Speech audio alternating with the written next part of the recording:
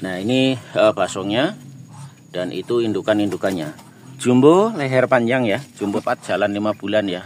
4 jalan 5 bulan seperti ini ya, tuh ya. Tuh. Jadi masih original ya, jemoko lah ya. ya dibilangnya jemoko ya. Belum uh, belum bisa kawin ya namanya. Suaranya aja masih kicik-kicik gitulah ya. Ya seperti itu. Nah, enter sehingga nyaman nanti entok-entok main di sana di pasir-pasir itu bisa dibersihkan kotorannya ya. Nah, kalau mandi di sini ya di di peluran seperti ini. Pokoknya yang penting endok itu nyaman.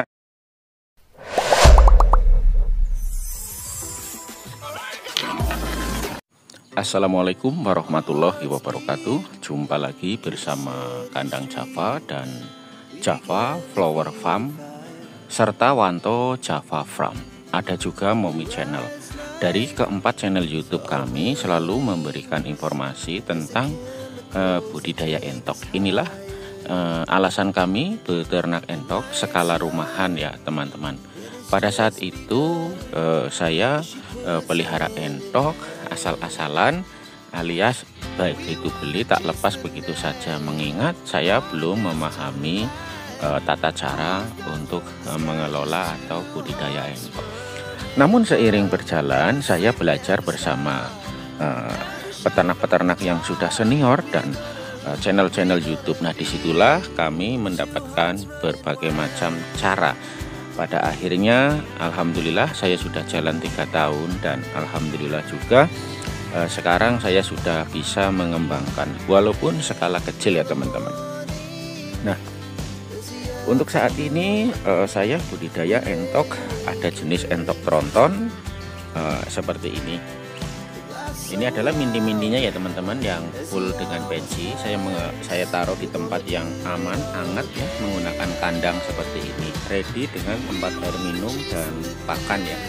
Usahakan jangan basah mindinya agar selalu sehat. Seperti itu ya teman-teman. Nah mindi ini adalah umur 2 minggu ya teman-teman. Mindi ini umur 2 minggu. Ya seperti itu. Yuk kita akan lihat juga untuk jenis entok apa saja. Di sini ada juga entok milenial ya. Entok milenial. Nah uh, untuk umur ini Ini baru saya mandikan ya Jadi masih basah. Bulunya belum kering ya teman-teman. Untuk jenis entok milenial ini masuk kategori entok hias ya. Masuk kategori entok hias. Dan uh, ini umur uh, hampir empat bulan ya. Lehernya panjang-panjang seperti ini. Untuk karakter bulu putih dominan putih namun dikasih uh, corak berwarna hitam di bagian punggung ya. Dengan full uh, paruh warna pink warna eh, paruhnya warna pink kakinya kuning ya teman-teman. Nah ini selain entok hias juga entok ini bisa besar dan jumbo. Terlihat lehernya panjang-panjang ya seperti ini. Nah untuk harga eh, nanti teman-teman jika yang berminat eh, bisa hubungi nomor WA yang ada di pojok kanan bagian atas atau di judul video ini ya. Untuk jenis entok hias ini eh, posturnya besar. Selain buat pedaging juga ini sangat bagus produksinya ya teman-teman. Untuk telurnya ini indukannya bisa sampai 15 lebih ya teman-teman. Nah, seperti ini. Untuk pola pakan kami menggunakan uh, pakan uh, campuran ya teman-teman. Selain pakan alternatif kami juga menyediakan seperti jagung bekatul atau dedak dan juga hijau-hijauan. Juga kami menanam apa azola di depan sana. Nanti saya review azolanya ya teman-teman. Nah untuk jenis entok hias ini uh, cocok sekali untuk kita budidayakan ya teman-teman. Selain uh, telurnya banyak juga entok ini posturnya besar-besar ya. Hampir seperti bebek ya teman-teman. Badan panjang leher juga panjang. Nah seperti itu. Maka entok ini cukup sekali cocok sekali untuk memasok kebutuhan daging yang ada di pasar ya. Seperti itu. Nah ini jenisnya yang laki-laki ya. Badannya panjang ya e, paruhnya berwarna pink, kakinya juga kuning ya teman-teman. Nah, ini nanti kalau sudah kering bagus sekali corak bulu, e, bulunya ya selain putih ada dominan ada uh, balutan-balutan warna-warna hitam ya di punggung maupun di dada. Nah, untuk jenisnya ini milenial ya teman-teman, milenial seperti ini. Nah, nah Oh ya mungkin bagi teman-teman yang uh, kebetulan berminat untuk mendapatkan entok milenial ini juga nanti bisa ya dihubungi nomor WA admin kami yang ada di Yuk kita juga akan mereview jenis entok jumbo ya. Nah selain uh, entok rambon saya juga memelihara entok jumbo. Nah entok jumbo selain bagus juga badannya besar sekali ya. Uh, kebetulan di sini yang akan saya review ini adalah jenis indukan ya ini indukan dan oh itu udah ada telurnya ya sudah ada telurnya telurnya nanti akan saya lihat juga besar-besar sekali ya teman-teman ya nah ini sudah produksi sekitar uh, dua ya dua kali produksi ya teman-teman. Uh, makanya badannya sudah mulai besar ya. Nah untuk basongnya ini uh, kemarin bulunya rusak jadi saya cabut sekalian ya uh, agar agar nanti uh, tuh apa tumbuhnya bagus dan mulus ya. Untuk basongnya itu besar sekali ya teman-teman. Nah seperti ini. Nah ini jenis entok jumbo ya entok jumbo. Dengan eh, kami setel di sini untuk satu kotak ini ukuran 2 meter persegi ya teman-teman. Ke sananya 3 meter. Nah kami isi 4 ekor dan satu pejantan. Kalau yang di atas itu eh, masih remaja ya. Eh, basong masih remaja. Basong masih remaja seperti ini. Yuk, kita akan mendekat lagi sambil melihat telurnya ya teman-teman. Nah, kebetulan endok ini mau saya kirim ke Cilacap, tepatnya di Kabupaten Cilacap ya, di stasiun Sidarja ya.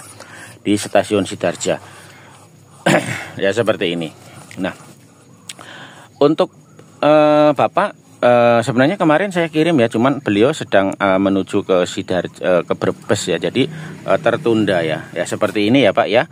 Ini adalah entok yang mau saya kirimkan mungkin Insya Allah nanti hari Senin, hari Kamis ya, dengan paket 1, 2, 3 uh, betina 4 dan pejantannya satu ya teman-teman.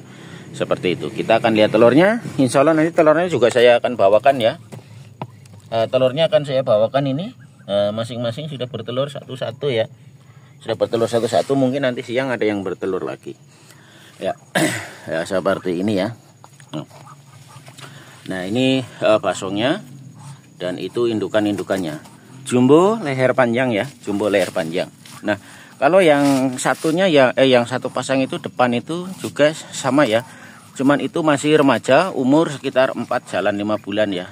4 jalan 5 bulan satu mungkin nanti siang ada yang bertelur lagi. Ya, ya seperti ini ya. Nah ini uh, basongnya dan itu indukan-indukannya. Jumbo leher panjang ya, jumbo leher panjang. Nah kalau yang satunya ya, eh yang satu pasang itu depan itu juga sama ya. Cuman itu masih remaja, umur sekitar 4 jalan 5 bulan ya. 4 jalan 5 bulan seperti ini ya, tuh ya jadi masih original ya jemoko lah ya, ya dibilangnya jemoko ya. Belum uh, belum bisa kawin ya namanya suaranya aja masih kicik-kicik gitulah ya. Saya seperti itu. Nah inilah eh, teman-teman uh, selain saya budidaya sendiri saya juga membantu teman-teman yang sedang mencari untuk uh, dibudidayakan di tempat teman-teman. Nah seperti itu. Lehernya panjang sekali ya. Kakinya jejang. Nah, seperti itu.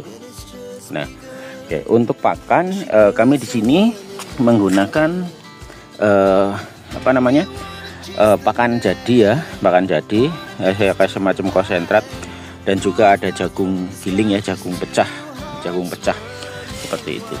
Nah, untuk masalah pakan nanti lain kandang, lain peternak tentunya beda-beda ya, ya seperti itu. Untuk atap saya menggunakan jaring paranet seperti ini agar panasnya tidak terlalu menyengat. Untuk sarang betelur di belakang sana ada dan kita kasih atap. Panjang atapnya satu meter setengah tingginya satu meter ya.